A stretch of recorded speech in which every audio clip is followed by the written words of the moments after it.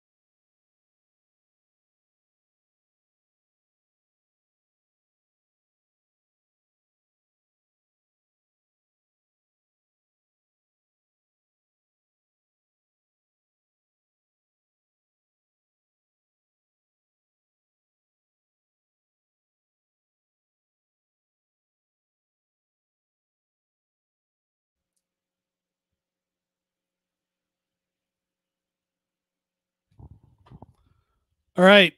Welcome back to Mises PAC Money Bomb live stream number seven, I think it is.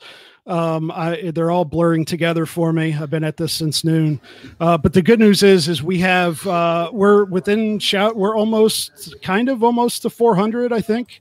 Uh, if we get 10 or 15 or so more this hour, we'll be past 400 recurring monthly donors uh, which was one of our goals for today. We're already over $5,000 per month. Um, so you can get on board at $5 a month, at 500. We've got those two things and everybody in between. 400. 400. Oh, I, I thought we had a 500. I was looking at the data. Uh, that would that would take you over the yearly maximum because the uh, rules uh, around all of, this are amazing. Yeah. That's oh, it's 5,000 per year. Yeah. Uh, yeah, yeah. Anyway, um, so um, uh, why you want to another reason you want to become a recurring monthly donor in addition to just helping Mises PAC is uh, to get a chance to win one of the two silver rounds we have left, or of course the AR-15, which uh, you know we showed you the the great video of that last hour. Uh, the stopper LP- of riots. yeah, yeah, yeah. It's uh, it, it's uh, I'm not really much of a gun guy, but that was pretty cool. Um, so um, lpmisescaucus.com slash donate. Another thing you can do to help is uh, like Dave did. You might have heard him earlier. Uh, share it on your page to your to your friends, whatever uh, people who might be interested. Uh, like and comment on the uh, uh, on the stream, and if you have a good comment, I'll put it up and just get some buzz going and and and donate while you're at it. Um, I've I, got. Go ahead. Oh, sorry. No, yeah, I've got I've got one small announcement oh, uh, yeah, before we before we get into it with Dave Smith. Uh, so one thing that we are bringing back as a Mises Caucus, you know, we have all these things. We have the PAC, and we use that to support candidates. We use that to support causes. We have the uh, the grassroots movement. We have organizer teams in almost every single state. Now we're up to almost three person organizing teams in almost every single state. Uh, almost 200 uh, volunteers across the country. Uh, we've got the Decentralized Revolution podcast that Aaron uh, uh, hosts. But now we're bringing back the other podcast that we did for a little bit, but then I kind of neglected. Um, we're doing Ask an Austrian. So if you go to askanaustrian.com, there will be a form there for you to fill out. You can ask any question that you've got uh, about libertarian theory or Austrian economics, and then we will have somebody from the Mises Institute take your questions and answer them live on, well, not live, sorry, but pre recorded on camera and we will be putting that out. And who better to kick that back off than Bob Murphy? So we got Bob Murphy. He's going to take your questions on Austrian economics. I think he might have an answer for them, and uh, we'll be putting that back out. So askanaustrian.com, submit your questions, takehumanaction.com, submit your bag, get the eater, take human action. All right, I'm. Uh, my wife has cooked me dinner, so I'm going downstairs uh, to take care of that and and uh, uh, not completely ignore her for the whole day. Uh, but I'll be back before toward the end of this uh, this stream in a half hour or so. Okay, guys. All right. All right, go to it. So, so we were talking a little bit before we got started. You were saying you, you're going into New York here uh, a couple times a week. What what exactly has all of this done to New York? Well, Well, first of all, actually, let me let me. I'm, I'm sorry. We are with the great, the fantastic, the illustrious Dave Smith.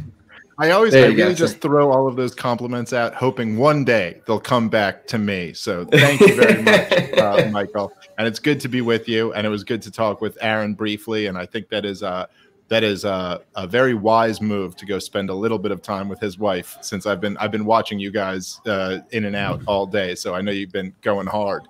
Um, so yeah, New, New York City is um. So, uh, so I grew up in New York in the 80s and 90s.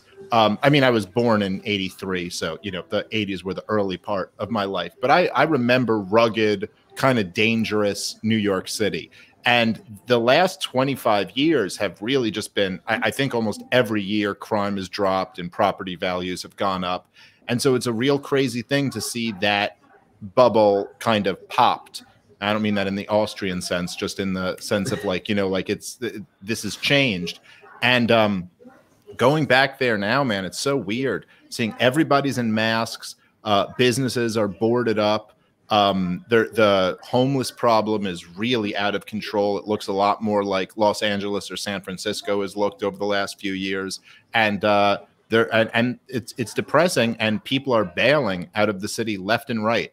Um, I've I've heard that uh, moving companies can't meet the demand because people want to leave so much. Uh, where I used to live on, on the Upper West Side is is kind of like a wealthier area of the city. About forty percent of it of the of that area is gone.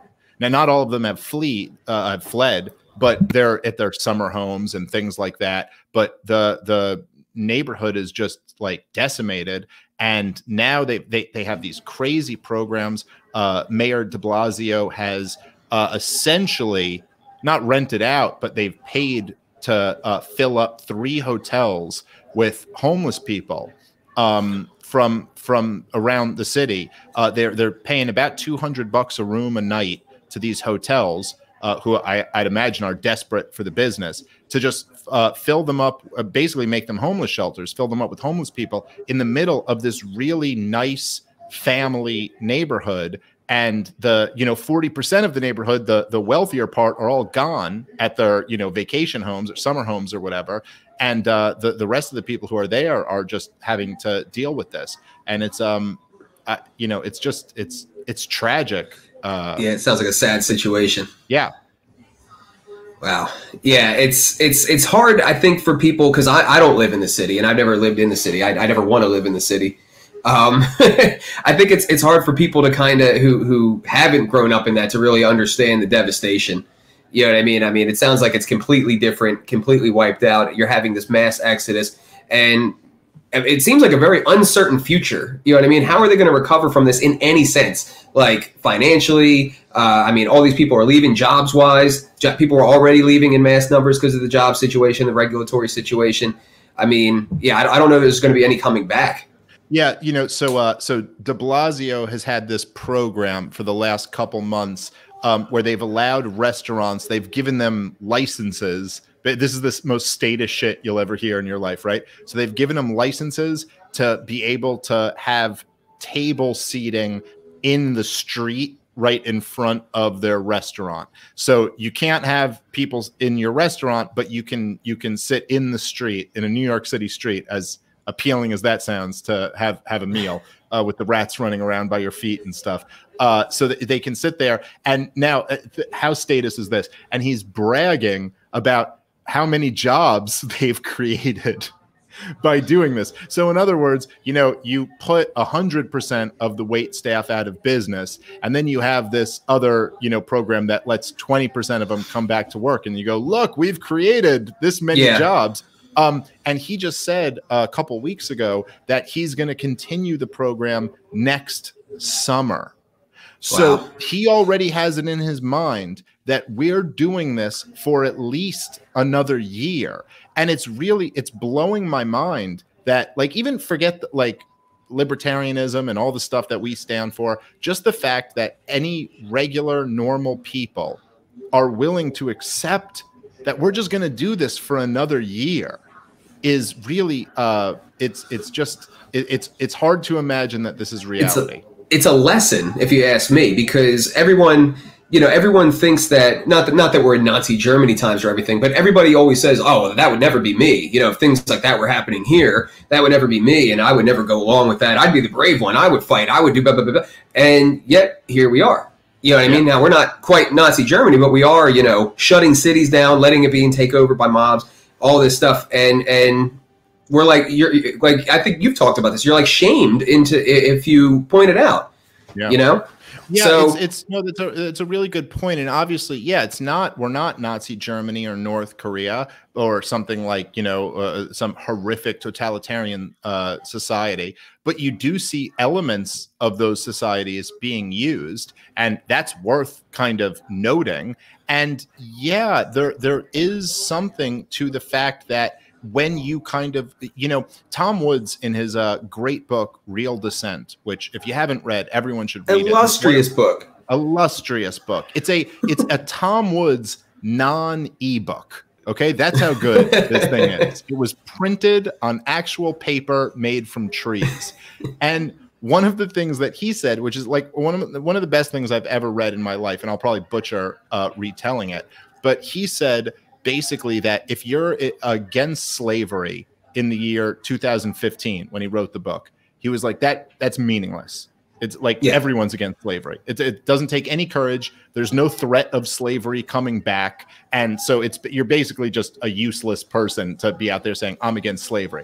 But if you were against slavery in 1840, that really meant something. It was dangerous. Abolitionists were lynched. Slavery yep. was actually an institution that existed. So the the question becomes, what are you willing to to stand up against that will actually have negative consequences? And I, I will say that I think the the Mises Caucus, it, it, out of anyone in the Libertarian Party, passes that test the most. And the biggest critics of, of the Mises Caucus I would just say, I, would ask you in, a, in an honest way, what brave position do any of them take? What position do they take that could actually get you in trouble, get you kicked off Twitter? We're not even talking about being lynched publicly, but what, what position do they take that would, you know, like really offend the New York Times or anything? And, and the answer is usually pretty much nothing.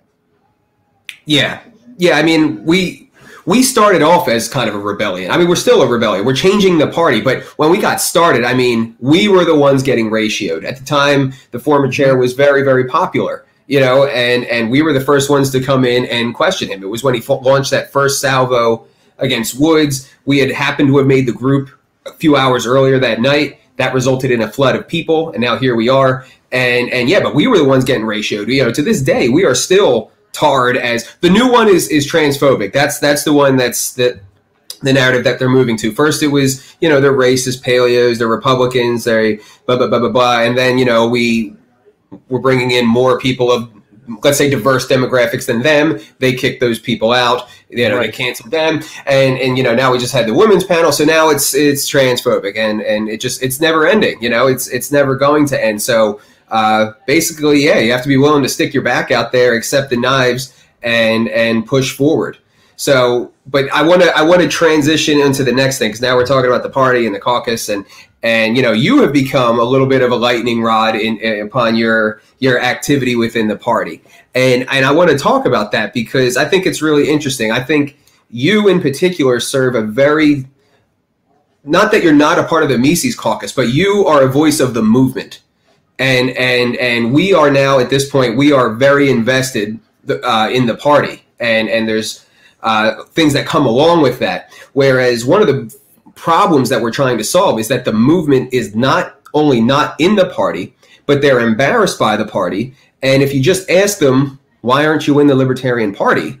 they'll tell you you know? And and then I, and that to me it makes it incumbent upon us as the party to listen to our lowest hanging recruitment fruit which you don't so I, I guess my, my question is is you you you are I think you are representing that movement that wants to see the party to change. So what, what's kind of like your commentary on the position that because you, you know you've said recently that you doubled down on the party, you doubled down on the caucus. What do you mean by that, and what do you see as like your role versus even that might be a little bit different than my role? Oh yeah, well the, we certainly have different roles. Um, and so okay, so what I look, what I care about, and the reason why you convinced me to join the Libertarian Party is because I so I basically came around. Like I was talking about this the other day. I I started my podcast in late 2012 and then uh, then ended it and then started again in 2013 and I had no audience. I mean, no audience. I think I got like a, a hundred downloads an episode or something like that. You know, like I was I was doing loser brigade numbers uh, at the time, and the, I, and I just built it up from there. And I what I am still a child of the Ron Paul movement. Happy birthday to the great Ron Paul. And it was it was heartbreaking to me that the Ron Paul movement did not it it listen for everything great that Ron Paul did it wasn't the revolution that we wanted it to be. It didn't it didn't succeed. And as it started to dwindle out year after year and up until 2016 i was still really hopeful that rand paul would keep the movement going and all of that. So i you know so as the movement was dwindling I kind of like was building my audience up. And it was kind of like it, it all worked out for me pretty well. Like I I I've got a great career, man. I've got, I've got a great career. I do everything I love. I have the best wife in the world. I have a perfect little one and a half year old uh, daughter. I love my life. Uh, I don't need to be a part of the Libertarian Party at all. If this whole thing, you know, like collapsed tomorrow, I can go back to just doing my podcast and making fun of the cathedral and and point and spreading the message and doing all the shit I do, it doesn't hurt me at all. But when I heard you say that you were ready, and I heard someone smart and passionate and hardworking say, "We are reigniting the Ron Paul revolution," that's I was like, "Yes, that's what I want to do. I want to be a part of that." So my my issue is just that I think this is a great thing to do to try to spread the liberty movement. And if I see uh, a situation where I think this is not going to be good for spreading the liberty movement, then I'm going to address that because that's what I care about. If it wasn't for that, I wouldn't be here. Now, a lot of like like I just said, if the whole Libertarian Party just disbanded tomorrow, I'd go back to being exactly who I am. Now, a lot of the people uh, who are critics of ours, if the Libertarian Party disbanded tomorrow, they're done. Like this is their whole identity. It's a, so they're they're a little defensive about me coming in and ruffling feathers, and they're like, well, if this isn't good for the party, then this isn't good for any of us. But what I just said, what I said when I debated Nick Sarwark is still how I feel. I don't care about the liberty, the, the Libertarian Party. What I care about is liberty. And if the Libertarian Party is a vehicle to achieving liberty, then great. I'm all in, like all in. Like I'll die with you guys on this hill. But if it's not, then I don't care about it at all. And so when you talk about the liberty movement, not the, the ones who don't want to be a part of the Libertarian Party, I completely understand why. I and do too. I think yeah. I think it would serve a lot of people in the Libertarian Party well to listen, actually hear out their criticisms, not dismiss them, and say, "Oh, you know what? Maybe there is, maybe there is something to this." Yeah, I mean, I've, I've said this a million times where there, there's a kind of attitude within the party where it's like, well, we're called the Libertarian Party, so if you identify as a libertarian, you are obligated to be here. And and imagine that, like, imagine that instead of in a political party, in a business, like, imagine it's like, I've got this great product and I have it aimed at a at a target demographic that I think is very likely to buy it. And you're obligated to buy it. And if you don't like the product that's your fault. That person's not going to be in business very long at all especially if that that targeted base turns around and says yo your product sucks. You know what I mean? And and then and then their response is no it doesn't. You suck. That done. They're going to be done and and that's kind of what what in my opinion has happened here in a large part and and there's just been a cultural degradation in the party. Um, and and I think in some ways, this is where the former chair was was right. There's one thing that the former chair used to harp on that was absolutely you son of a bitch. What do we say? this is not what I agreed to. well, no, no, no. There's one thing that he said that's absolutely true. He just said it in a very arrogant manner because he never thought it would happen, and that is that that uh, the party is made of who shows up. You know what I mean? It really is, and that's true. He just never thought that we would show up, let alone stay, and and become a PAC and and do all this stuff. So so well, yeah, I mean, that's a great point, and that's why I've kind of doubled down my my uh, uh, commitment to the Mises Caucus and the Libertarian Party. Is that I'm just a, I'm I'm able to see one level beyond what these guys are doing, and I'm just like, well, look, there's no way that these dorks are going to bully me out of being a part of th- this movement when I know that we have all of the energy, all of the passion, all of of the um, kind of like grit and hardworking people, and we're right. There's nothing that we're saying that isn't correct here. So I'm not look. I know there, and this is why I've, I've posted this in the Facebook group a few different times. It's like, guys, understand what's happening here is that we're on the verge of succeeding. We didn't succeed already, and I do think that like there's a fair balance here. Okay, the Mises Caucus should we should feel the sting of of the losses that that we suffered this year. We should feel that sting. We were very very close to having the Mises Caucus presidential candidate and the Mises Caucus chair of the Libertarian Party. That was a very very close. And both of those things didn't happen and that that hurts. But we also realize we're very very close. So you, you have to kind of like take that in for what it is and go, okay, do you want to keep committing now to going further? And when you see a lot of these tactics, I mean, like silly things, but I'm I know what it is. Like the freaking Libertarian Party uh, Twitter account unfollowed me recently. they like, like they fucking they don't like what we're doing here, and that's fine. I have no problem with that. But I still think this is the best bet for liberty to stay here and continue to really win the day. And I know people, like I said, take over the party the other day, and some people got their panties in a bunch about that. But look, this isn't this isn't if you're a libertarian you shouldn't be concerned about me saying we're going to take over the party when i say take over the party what i mean is restore the revolution if you're a hardcore libertarian who loves Austrian economics and loves individual liberty and loves non-aggression, you know, non, uh, non-interventionist foreign policy, you should be thrilled with this new takeover that's going to happen. It's not like just the Mises Caucus taking over. I'm saying the true principles of libertarianism are taking over the Libertarian Party, and that's what's and, happening. And two points on that. One, it's not like we're running some kind of friggin' French Revolution. It's not like, okay, chair, dead you know, now we're installing a Mises caucus chair. Like we have to earn it. You know what I mean? Even if we did take over, it would only be by votes. It would be by us recruiting more people, about us winning more people over, getting the votes. So even if we did take over, it would it would have to be upon voluntary means. We're not killing anybody for Christ's sakes, or or, or seizing the, the, the means of the party or anything like that. And and second of all, we're winning the argument.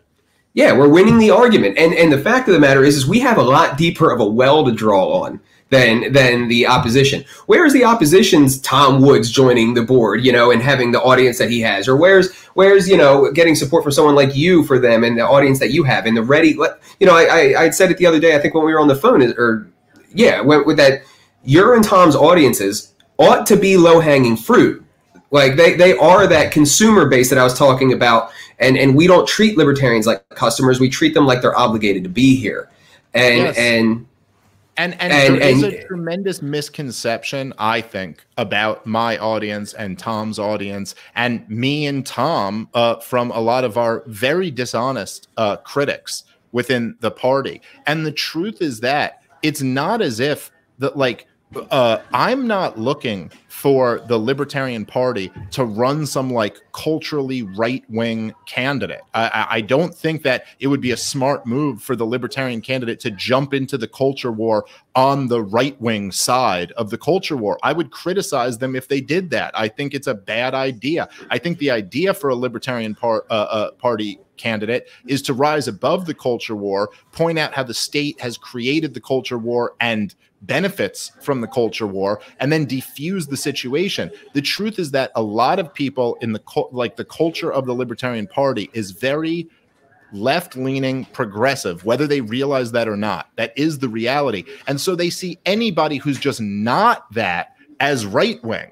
But the truth is that the the most of Tom Woods' audience, most of my audience, what they're turned off by is not that the libertarian uh, ticket is not on the right wing side of the culture war. They're just they're just sick and tired of placating the left in in the culture war. And if they just stopped that, there'd be a lot more people who would be willing to jump on board. That's for sure. And and this is one thing we can talk about because I don't know that we 100% agree here, but exactly what you're describing is why is the intent behind the identity politics. Well, both the identity politics plank and what we call the lifestyles plank. And basically, if you don't if you're not familiar with that, one, the lifestyles plank is basically saying, look, the, the way that you live your life, as long as you're abiding by the NAP, is an extension of your self ownership. Nobody cares you know what I mean? Like nobody cares. But at the same time, we're not down with identity politics. And what we're trying to convey with that is that you can be whoever you want to be. You could technically be an SJW and be in here. You could technically be right wing and be in here. But you've got to put the Austrian shit, the decentralist shit, and all that above the culture stuff. You know what I mean? Like that. That has to be paramount. So I, I, I think you're kind of saying the same thing. Because basically, what I'm saying is, don't take a side in the culture war. Oppose it oppose it and and and and and show how ridiculous the whole thing is and how it's become a, a rapid race to the bottom. Yeah, well, I think that the to me, look, I I mean, I'm going. I think I I'm a commentator and i you know what i mean? Like this is what i do for for a living. And it's impossible to not comment on the culture war uh, right. as it's in the as it's raging. You know what i mean? It's like well it's look, it's intertwined with politics because the the, the, the, politics so the, the the the reason there's a culture war is because of the power of the government. And now you got these two tribes who are battling for cultural supremacy over each other. It's crazy yeah, and in a sense, it becomes necessary when you have such a big government because I mean, look, when when you have a, a big government like this, the the the most awesome, you know, uh, uh, powerful government in the history of the world, one side is going to win, and the other side is going to live under the rule of the other side. So you better be ready to go to war if if there's a vastly different culture that's about to rule over you. And don't get it twisted. I mean, the culture in Portland is vastly different than the culture in you know San Antonio or something like that. Like even, they even, are. Sorry, uh, yeah, even here within Pennsylvania, Lancaster sure. County, there's Amish people and there's horse and buggies rolling down the street, and then you've got Scranton area, which is completely mountainous, and then you have Philly, which is a cesspool, and and like and then all these different suburbs. I mean, it's not even the same within within the same state. Right, right. And that's yeah, that's true in New York, it's true in New Jersey. I mean, like, yeah, absolutely. And so the, I, I agree in the sense that what makes you a libertarian is that whatever your cultural preferences may be, you're not willing to force those on other people. You're re- you're, you're willing to uh, be be a volunteer uh, voluntarious and let the chips fall where they may. Uh, like you might win out in the culture, you might not, and more likely like as you were just kind of getting at some areas will be culturally conservative some areas will be culturally liberal.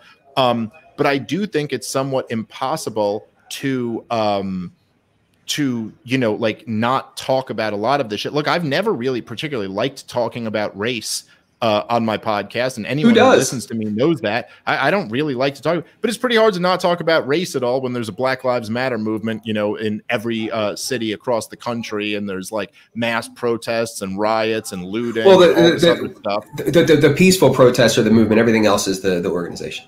That's right. The uh, I guess yeah, I yeah, guess yeah. the the murders and assaults and the looting and the tens of thousands of terrorized citizens must all be this Marxist uh, organization and not the movement, right? Um, but so I, I, you know, the the issue that you get into, I think, with the identity politics stuff is that it's like, okay, um, I like personally, I, it depends on how you define identity politics, I suppose. That's, I don't. That's care, the big thing. I don't yeah. care about anything that promotes liberty. I don't care if you consider if it's identity politics that promotes liberty or anti identity politics that promotes liberty. I don't care. I don't care about democracy or dictatorship. I care about liberty.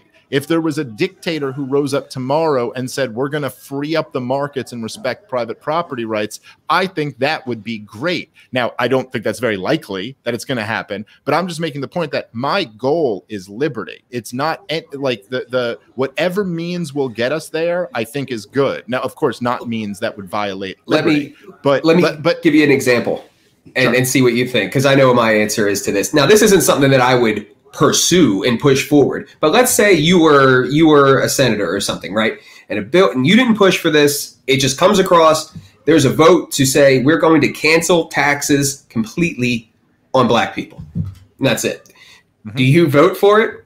I say yes. I, I say yes. Percent. Yeah. 100%. you literally couldn't stop me from hitting that button before you were done with the question. If you tied my arms, I would headbutt the button right in front of me. yes. I would care. Like I don't care. And yes, there is something that's unfair about it. It's identity politics, but as it's going to drive a lot of conflict. Sure, yeah. but as the great Ron Paul said, and I love this is one of my favorite, one of the uh, less um, remembered Ron Paul debate moments, but one of the best ones ever was when he said they said to him in 2012 because Mitt Romney had I think said that dumbass thing or something like that, or maybe it was before that. But they go, you know, there's 40 percent of Americans, that's nearly yeah. half of Americans, don't pay federal income tax. Doesn't that seem a little bit unfair? And he goes, I think we're halfway there. Yeah, great response. Go, yes, if you can that if you can, uh, the less money the government is stealing, I don't care what group it's for, the better. To me, the problem that you get with uh, saying that you're um, you know against identity politics, and I understand why you guys have that in your plank, and I I, I think that it's um it clears up a lot of problems in, in, in many well, ways. I can, I can tell sides. you exactly what our motivation was because it wasn't it was well thought out and and why it's there. Because we well one things were a little bit different in 2015 to 2016. I would say there was a moment where there was a cause for concern. You know, like when Molly changed, when Alex Jones changed, when Chase Rachels changed, when all this shit. I mean, people went fucking crazy in 2015. No. It really sucked, and and um, so there was an issue in the party with that for I would say 15, 16. And but at the same time, the since then, especially the party has been, I would say, subsumed by the opposite, the SJW culture. So oh, we no understand. Yeah, totally. And and so, but we understood that one, we stood against that. That that we are here to change that. That that's a big part of the cultural problem that's keeping the movement out of the party. That and that we wanted to fight against that and plant the flag. Even though that and and that even though there's not really, at least not anymore, uh, any kind of right wing identitarian threat in the party, if it was going to be there, especially in the beginning, they would try us, you know, and and we have to stand against that as well, even though that might only affect us in a small way, and it's not a a, a, a problem uh, across the wider culture, the way that in, within the party, the way that the SJW problem is, and then this enables us to to work with everybody because nobody wants that. You know what I mean? Yeah. Like nobody, and and and it's gotten to the point where where the, the wheat has separated itself from the chaff in the party. The complete nut jobs, the complete loser, like five star general loser brigaders, are are are seen as as just that. Whereas yes. people who might have been on the fence and people, uh, you know, who might have thought badly at us at first, but now that they see we're like, you know, we're, we're spending fifteen thousand dollars on local level candidates and all this shit, and and now they can look at it and say, all right, well, you know what, I don't agree, but I can work with them and that's we have to form these working relationships. So i would sure. say opposing both sides accomplishes that. No and i understand where you're coming from. I also just think that it's like uh, look you have to understand like kind of what developed in the country. And it really didn't start in 2015 or 16 it really started around 2013 2014 where the social justice warrior thing went out of control it got out of control to a like cartoonish level that is it, it's out of something that if it was in a novel you would be like i i can't actually believe this plot this doesn't make any sense the country uh re-elected the first black president. Barack Obama won his election and then was reelected. And then, in response to that, the, the radical social justice left decided that the country was more racist than it had ever been. And they were going to turn up from eight to 30 the lecturing white people and making every i mean even people right who have a, a problem with say stefan molyneux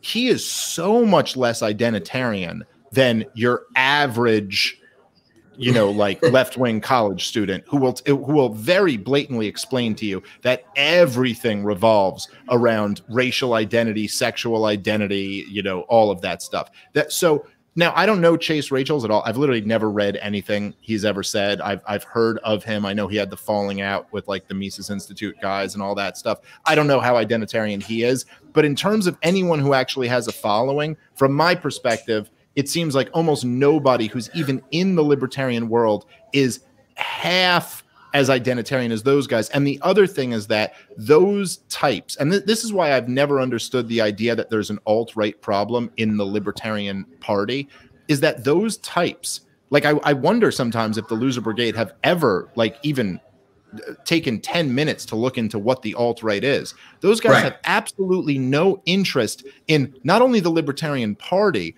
but the Libertarian label they their criticism is that li- libertarianism in general is like weak. Like basically uh, it, it, ranges from being like a jewish conspiracy to undermine you know white men's success in the worst case. And then in the best case it's just kind of pandering bullshit that isn't strong enough to win the day. But there's nobody, no one who considers themselves alt right who has any interest in joining me on this journey to support Jacob Hornberger. Like that's just the, the, the idea yeah. is is is absolutely absurd. But to them, what they call alt right is anybody who might like like any libertarian who if they said like do you know how scary it is to be a black person you know like walking the streets today or something? and they went well actually the numbers are this. They're like that's that's you being yeah. an alt right Nazi. So to them, Thomas Sowell, Thomas Sowell is alt right. Yeah. Yes, yes. Like yeah. literally any of these people, all basically to them, any libertarian who has a following is probably considered a paleocon or something like that. But I just I don't think it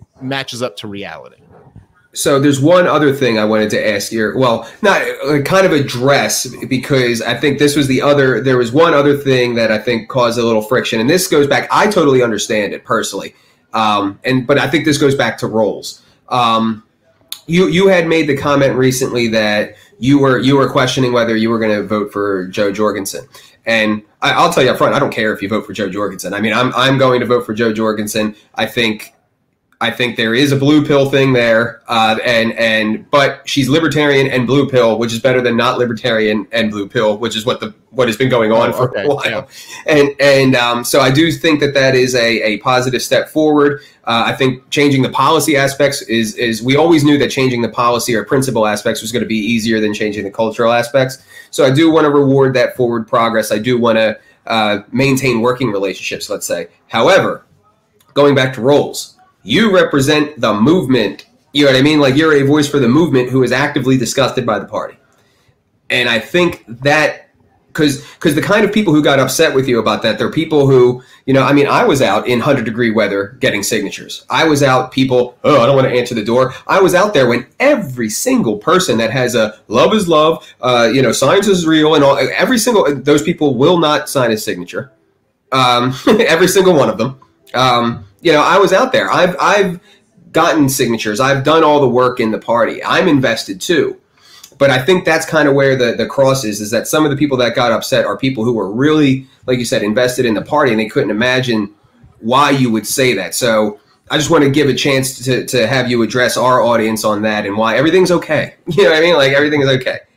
Well, listen, I mean, uh, as as much as I appreciate, to, uh, you know, the idea of thinking of myself as some type of kingmaker, this my support or or lack of it is not going to make the difference between Jo Jorgensen, you know, getting more votes than Gary Johnson or less votes than Gary Johnson. That's going to happen on its own. I mean, I could maybe at the the absolute height of my, you know, uh, um, like influence, move like 40, 50,000 votes one way or the other, but that's not going to be a huge deal uh, in the difference of, uh, uh, of the vote total. What I'm addressing is where this this ticket is really blowing it. when they have a really good opportunity. Like, th- th- look, I, I think what people don't understand, right, is that like this is this is not a game. Th- this country is on a suicide mission, and the answer to save it is liberty. And when somebody is, they have this title of libertarian candidate for president of the United States. They are now the standard bearer de facto of libertarianism. And so if I see them blowing it, which I do, that, that's what I'm watching, I'm going to tell my people why they're blowing it right now and what the problem is. And there are, so, listen, obviously, they're much, uh, uh, Jo and Spike are much more libertarian than uh, than Gary Johnson and Bill Weld, uh, and and they're a lot smarter than than those two guys are. No question about it. However, things have changed a lot from 2016 to, to 2020. And truthfully speaking, things had already changed by 2016. And Gary Johnson and Bill Weld ran a campaign like it was 2012. Like, what's the difference? I mean, what was the different thing that Gary Johnson would have said in 2016 compared to 2012?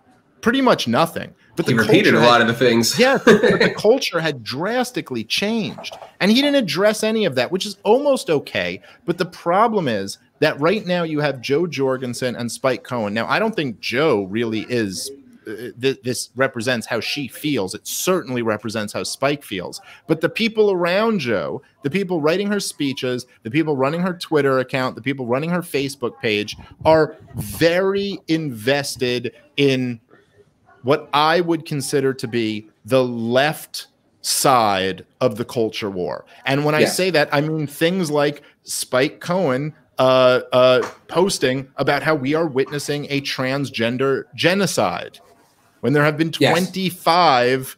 transgender people who have been murdered. How many transgender people have been murdered for being transgender? We don't know. It might be four. Like we have no idea. It, it, the number is so incredibly low to call it a genocide or the beginning of a genocide, as he called it, is absurd. I, I saw a Spike Cohen video the other day um, where he said uh, um, he was talking about welfare reform and they asked him uh, what what his thoughts on welfare reform are, and he said, "Look, here's the truth. Okay, I've gone knocking door to door in project buildings in low income areas, and he goes, the truth is nobody wants to be on welfare. They all just want to be entrepreneurs and work, and the, the government regulations are what keep them from that. It's like, yeah, that's nice. That's a really nice concept, and I wish we lived in that world. I wish that was reality, but that is a flat out lie."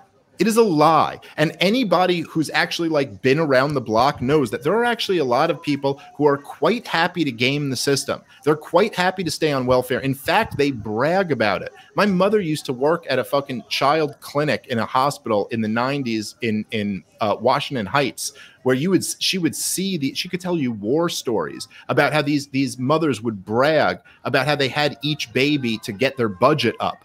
The culture in a, in the hood is really broken. And so anyway, the the point that I'm getting at with all of this is that uh, there's a whole lot of people out there who are rejecting the social uh, justice, cultural Marxist kind of you know culture bullshit and if you're just going to play to those guys, you're going to turn off this other entire area that won't look. Um. Oh, okay. So, uh, Tim Pool just recently had on his show. Now I know this is anecdotal and it's just one person, but he he had this this woman who was a, a ex social justice warrior who said she's voting for Trump, and she said she wanted to vote for Jo Jorgensen, but then she heard Jo Jorgensen talking this social justice warrior language. Now, this is getting broadcast to hundreds of thousands of people. This isn't a hardcore libertarian like me. This is Tim Pool. He's basically a left wing guy. You can appeal to the left, but the principled people on the left who care about arguments are getting turned off to this shit that Jo and Spike are, are pandering to. So it, to me, it's just, it's the worst it's the worst like strategy you could embark on. And I'm just out here saying what the Libertarian Party candidates are doing, what's so infuriating is they go, let's let's placate to the demographic that is the least likely to to uh, side with us. Meanwhile, they wouldn't agree these, with you with that, and that's the the, the well, issue. yes, and okay, yeah. and they're wrong, yeah. and that's the thing is that they're fucking wrong. And listen, I know a thing or two about how to spread the message of liberty and how to build up an audience. And the truth is, Spike Cohen and Jo Jorgensen, until they won the nomination, didn't have a fraction of the people listening to them that I have. The only reason they have people even paying attention to them is because they're the candidates. Okay. And so this is what they're doing with it now. And I'll tell you that the idea that the, the loser brigade types are so angry at me because I'll have an alt writer or, or someone like that on my podcast and not just screech at them that they're racist the whole time. But you know what I've done that none of those guys will ever do in a million years? I've brought hundreds of people back through the pipeline. Like people who are drifting off into that direction and then go oh okay let me bring you back. And they re- and now i personally think that someone who used to be a libertarian who's drifted off into a bad direction is a is a better like like that's more likely yeah. to yield positive results than going after a group of people who you know will never be libertarian. Like and, it's and just impossible my own anecdote, and then we got to shift gears because we're running out of time. Sure, um, but I would love to do this again. I'm having fun. Um, but um, but uh, my own anecdote is I've so I live in a I mean it's a town. It's not a huge city, but I, I live in a town of like sixty thousand people. I decriminalize weed here. It's not like I worked with the right on that. I worked with a guy who was terribly afflicted with TDS, uh, and and and you know you don't hear me t- like talking like them. It's not like the, the, the psychedelic decriminalization is is being uh, movement is being run run, yeah, run by Republicans it's it's it's being run by progressives, and a lot of these people who are into the shroom thing, they they don't want it to be free market. You know what I mean? Because you know, oh, it's medicine, man. Like it should be communal. We should just share it. And yes, you should be able to share it, but they don't. They don't like profits. You know what I mean? Like, and they don't. They don't want. Yeah, entrepreneurs. You know, taking advantage of people for for the profits.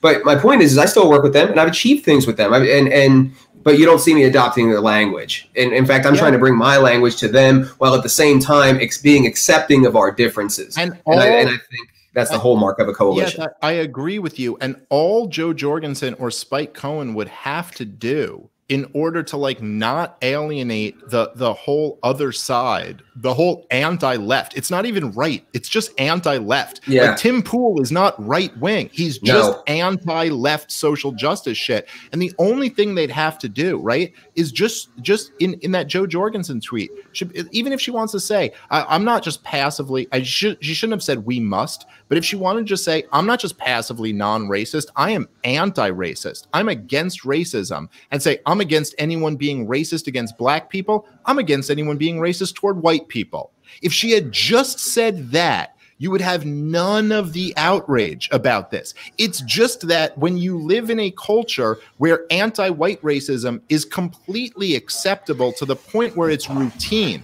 to the point where you can write a book that called White Fragility, and it can be a bestseller. but if you were to even mention, if you were to even say in most corporate jobs, you know, I think this book's kind of anti is racist against white people, you could get fired from your job for that. It's hard when you just come out and then add to that, like, yeah, we're against racism. This is what turns people off. All they need to do is is just say, like, even if Spike Cohen like wanted to say something about transgender, listen, no libertarian would care if you say you own your body and whatever you want to do with your body, you can. You can identify as whatever you want to, and you should never experience violence for what how you want to live your life. But also other people aren't forced to accept you for that lifestyle. And that's the deal you have to make.